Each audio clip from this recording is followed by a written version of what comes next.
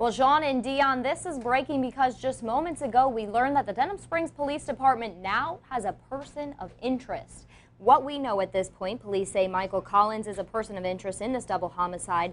Eugene Gurley, a former Denham Springs teacher, and his wife Patricia Gurley were last seen Monday afternoon.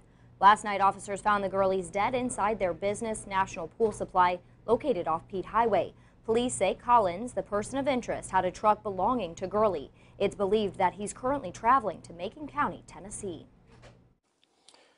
First of all, I'd like to say it saddens me deeply to have to stand here before you and talk about what is certainly the most heinous and senseless crime that we've encountered during my career with the Denham Springs Police Department. Police have not said how the couple died or when. Those questions, though, could be answered after an autopsy.